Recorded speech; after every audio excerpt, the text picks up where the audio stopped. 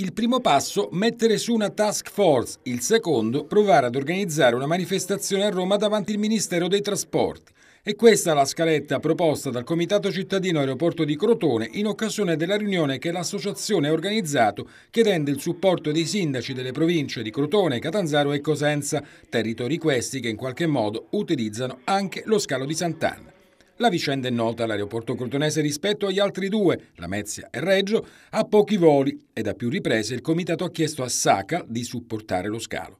Riunione in qualche modo presieduta dal sindaco del capoluogo Voce e da quello di Isola Capo Rizzuto Wittenberg. Il presidente del comitato Aeroporto Crotone dice nelle sedi istituzionali devono andare a battere i pugni chi rappresenta i cittadini.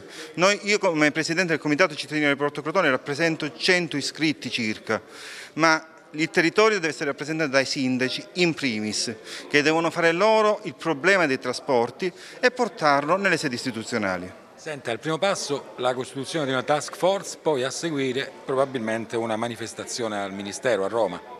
Sì, noi quello che stiamo chiedendo è di istituire, così come è stato fatto in altre città come Reggio Calabria, una task force che prenda di petto il problema dei trasporti e che in maniera armonica parli di treno, strade e aeroporto in modo che si parli di intermodalità.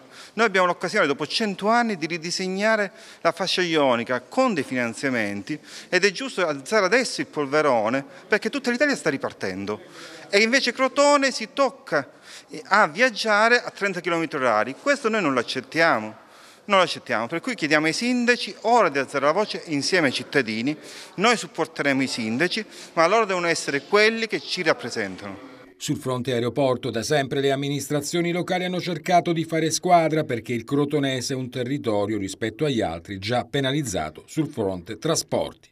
Qui c'è un punto fermo da prendere in considerazione. Se un volo, un aereo pieno vola dalla Mezia, io personalmente non capisco perché lo stesso aereo pieno e la compagnia incentivata in, eh, in maniera maggiore rispetto alla Mezia perché da Crotone non dovrebbe essere conveniente. Ecco, qua sono delle cose da mettere in chiaro e da capire. Ecco. Condivide appieno la battaglia per l'aeroporto l'amministrazione comunale di San Giovanni in Fiore, presente con Daniela Astorino, vice sindaco. Per quanto riguarda San Giovanni in Fiore, per noi sarebbe importantissimo anche a livello di collegamento, noi siamo molto più vicini a Crotone, da un punto di vista territoriale da un punto di vista logistico che, che rispetto alla mezza e quindi il potenziamento di questo aeroporto non può fare altro che rappresentare un, un motivo di sviluppo anche per il nostro territorio.